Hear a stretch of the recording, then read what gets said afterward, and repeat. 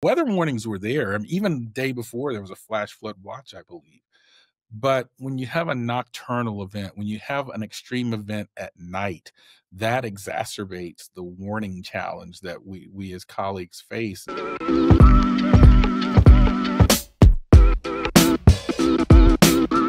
Welcome back to the unknowns. Uh, today we have Dr. Marshall Shepherd, a renowned meteorologist and climate expert. He's the director of the University of Georgia's Atmospheric Science Program and a former president of the American Meteorological Society. Uh, Dr. Marshall Shepherd, thank you for joining us today. Thank you for having me. Well, I think everybody's talking about it. It's 2025, and we have a devastating flood in Texas and Kerr County with massive casualties. How did this happen? Like, this well, sounds like something that you'd see in an old newsreel from the 1920s. What is going on? Well, it, unfortunately, it was a tragic perfect storm of events from a meteorological perspective. I mean, we had this region, first of all, is called Flash Flood Alley for a region reason. Uh, it experiences a significant Gulf moisture.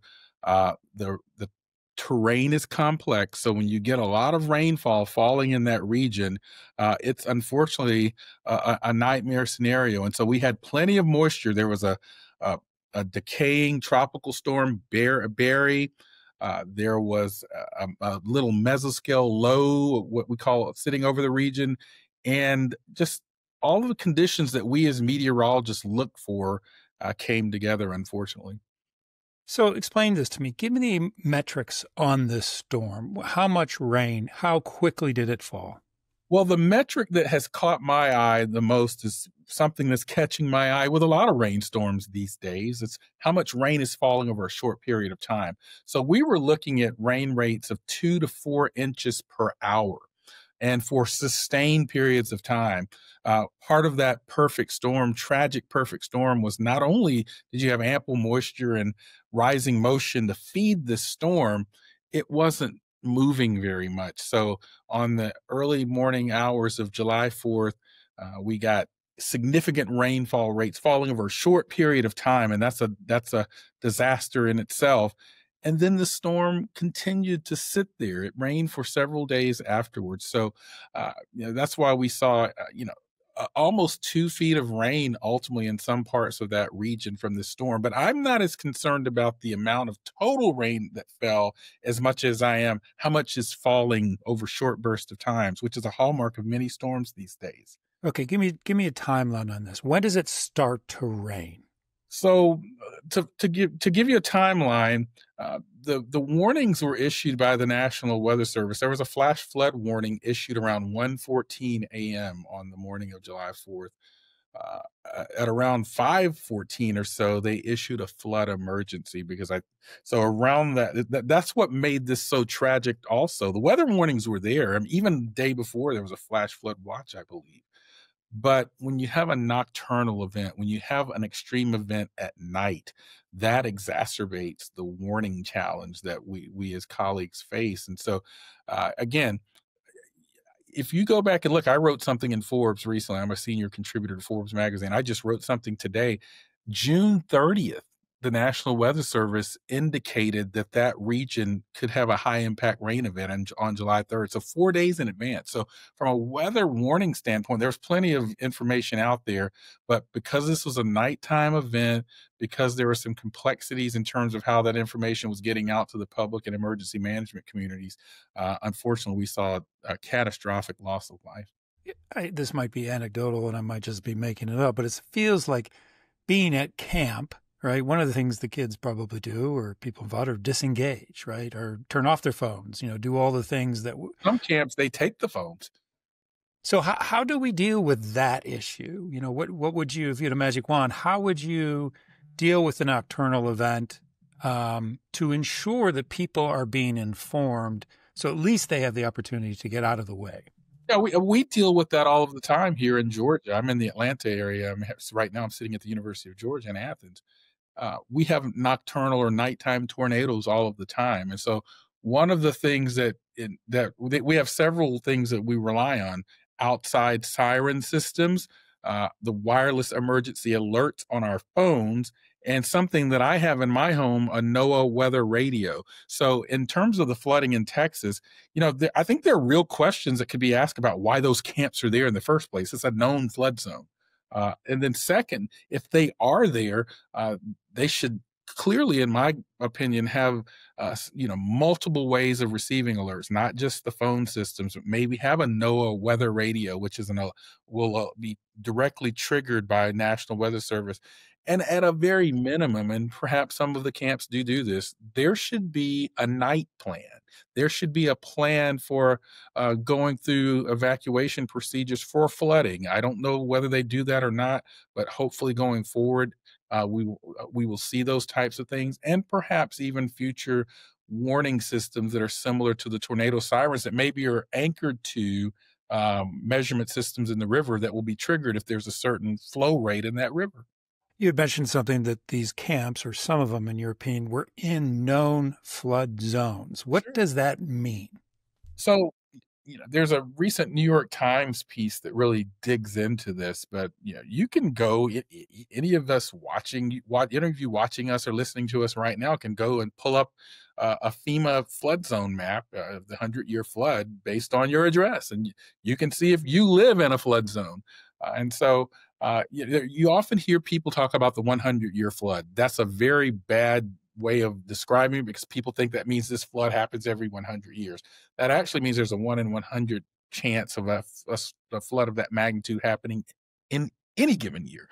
This some aspects of this storm were 100 years, some may have been 500 to 1000 year in terms of 1 in 1000 chance. But from what I've read recently, and again, I'm not the expert on the hydrology, but from what I can see, uh, clearly uh, these these these um, facilities and these RV parks may have been in some pretty treacherous flood prone territory. And again, I emphasize this: this is flash flood alley. This region has experienced those types of floods in the past, and they will again. So, with that knowledge, how does the government, right, in Texas or the federal government, if they have these identified areas, how, if if you had your way or your vision or unlimited budget, how would you protect those areas more? So you know, I I come at this mostly as a scientist, so I, I, I can't claim to be able to make policy. But here are some things that I would recommend if policymakers brought me in as an expert.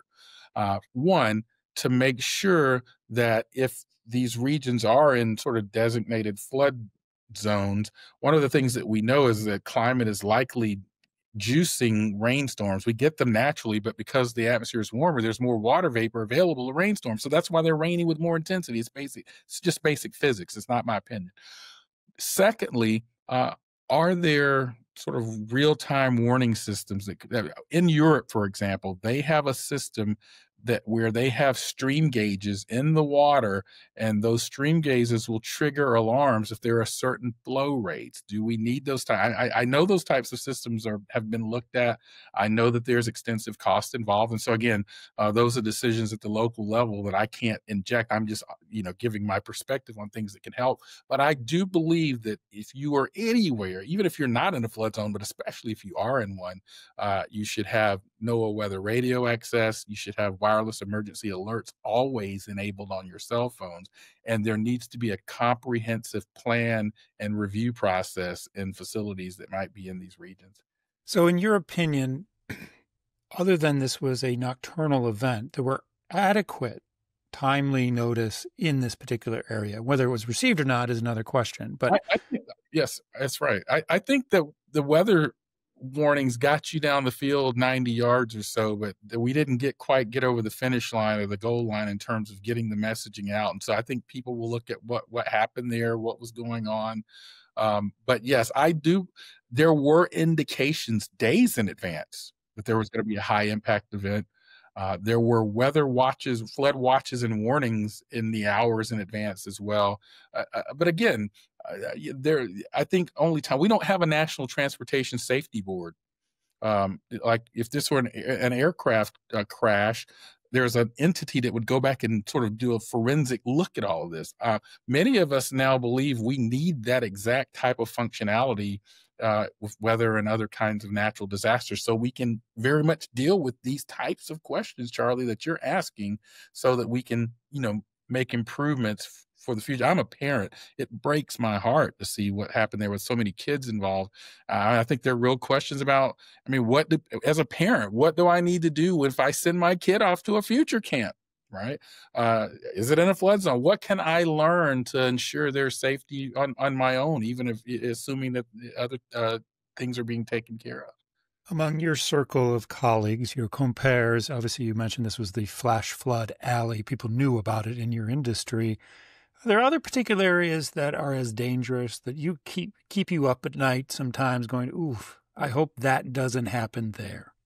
Why you know, I think any type of place with complex terrain and where you have a significant urban or populated uh, region downstream of a river. I mean, one of I, I think the most deadly non-hurricane related flood on record happened in Colorado uh, several decades ago, and it was a very similar scenario where you had a lot of water sort of rushing down a, a, a river, uh, and so those types of scenarios always keep me up at night. I mean, increasingly, hurricanes are also we saw with Hurricane Helene, for example. Uh, we saw in Durham, North Carolina, just this past week with the remnants of Tropical Storm Chantal.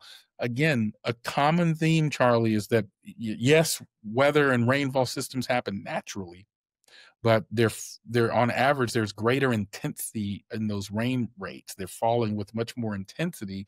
And so in urban environments in places where you have mountains like Helene part of the challenge there is you had this inland storm but you also had the additional uplift from the mountains the Appalachia as well. So those are regions that always worry me as well but just any type of urban environment because again as water hits the landscape, it tends to either infiltrate into the soil or gently run off. But in urbanized regions, it runs off much faster and it doesn't infiltrate. So that's why many of these hurricanes are producing such significant floods as well. You mentioned something very interesting about how if there's a plane crash, there's the NTSB that goes in, looks at the science, looks at the data, comes up with conclusions and recommendations moving forward. That seems like eh, you know that should just exist. Is is is that something that that you've been advocating or other colleagues have been advocating? Yeah, we've had people in the field. I'm the former president of the American Meteorological Society, which is the largest professional society in this field. And over the years, starting back with colleagues like Dr. Bill Hooke, or even a private sector meteorologist like Mike Smith, who uh, used to spend time, work with a private company called AccuWeather and, and now has his own private ventures. Uh, there, there, I even heard the recent uh, nominee uh, and his uh, Neil Jacobs. He's the current uh, NOAA administrator nominee. Uh, he was having his confirmation hearing just yesterday, and I, I think he even noted the possibility of having something like that. It's a no brainer because we know these things will happen again. But what are the things that we can do, just like with an airplane uh, crash, that we can learn to ensure a greater degree of safety going forward with the next event? What other other known no brainers do you think about? Right, like more balloons, more this, more that. Like, how, what, if you could arm our nation with a more complete weather protection system, what are we missing? What do we need to address? Well, I think the weather again, the weather forecasts were sound with this particular forecast. With again, you know, getting the exact pinpoint location of the exact bullseye of heavy rain. That's just we're never going to be a be able to give you a pinpoint. We have to do it in a probabilistic aerial sense. My point is, I think the weather aspect of this warning was fine. Uh, obviously, we would always we want to make sure we have fully staffed weather service offices. We want to make sure we're launching the weather balloons twice a day at least, and perhaps even more. Have uh, functioning radars, uh, satellite systems, and and the most advanced models. We are moving more into AI based weather models as as opposed to the more dynamic types of models that we use. But I think in this case, I think the questions uh, really are at the intersection of the hydrological warning response and also the emergency response. When you sort of look at uh, weather, you know, for the last, well, as long as we've been keeping records, what are you seeing that uh, are anomalies? What are you seeing both in your lifetime? You're like, I don't remember that, but just in general, since we've been keeping records. So we know that climate is changing, Charlie. I mean, that you know, I, I, we we just do. The science is clear on that. I co-authored a report for the National Academies a few years ago on something called attribution. That is, can we attribute today's extreme weather events in any way to climate change? And what we found is that there are signals of climate change in today's weather. We don't have to talk about 2050 or 2100. Uh, and so one of the most sort of clear climate change signals in today's weather is the increased rain rates, the intensity. Uh, in every sector of the United States, the science is showing the top 1% to 2% rain intensity events are much heavier than they were in 1950 or 1960. Here's the other problem with that when we designed stormwater management systems for cities in the 50s, 60s, and 70s, we assumed that the rainstorms of 1960 and 1970 would be like the rainstorms of 2025, and they're not. So the stormwater management design is assumed stationarity. That's what that's called. So that's a big challenge. So we know the rain intensities have increased. We know the frequency intensity of heat waves and droughts have increased. And even some aspect, you look at hurricanes, uh, we're in the midst of hurricane season. Over the last several years, we've seen a lot of these hurricanes rapidly intensifying. Let me speak to one other hidden aspect that is relevant to this storm. The Gulf waters are extremely warm. How does that relate to the Texas flooding? When waters are warmer, there's more evaporation coming off that water. And so that's more water available to fuel these rainstorms. And so that's a hidden aspect of the climate warming that that we have to look at with storms like this the fact that a warmer atmosphere has more water vapor available to it and these anomalously warm sea surface temperatures also increase evaporative rates which brings more water vapor out of the uh, brings more water out of the ocean or the gulf into the air as water vapor, which is again the fuel supply in some ways for these storms. Very basic question, and, and excuse my ignorance, but is are there periods of written records of weather that we go through these periods, or is this a true anomaly in your opinion? I think that you know, as I as I often talk about, uh, I use this analogy: grass grows naturally in our yard, but when we fertilize it, it grows differently. So we have a naturally varying cycle where we certainly have had dry and wet periods, and we can see those types of things. We certainly have a natural cycle of weather, including rainstorms, hurricanes, and so forth. But these storms are now amplified with a human steroid. Baseball players could hit home runs naturally, but in the steroid era, they were hitting more of them and longer ones. And so that's the analogy that best. One thing I want to sort of also emphasize because we have been dealing with this this was not caused by cloud seeding. There was there's a lot of discussion out there about cloud seeding, and yes, maybe there was some going on. I wrote something on this in Forbes recently.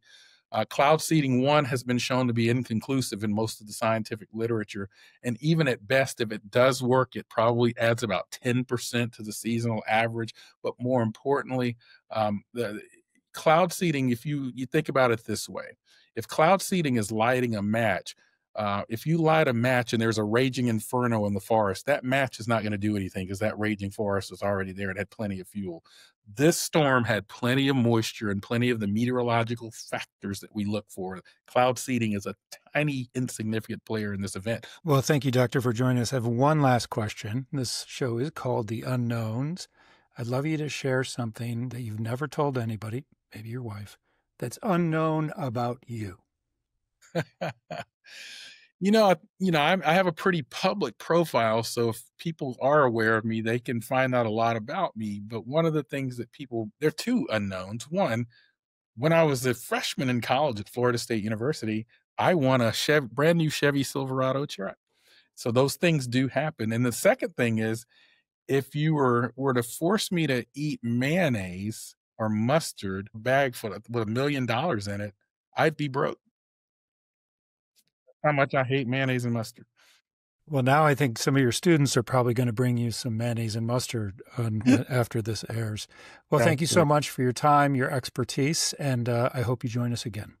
Absolutely, Charlie. Thank you.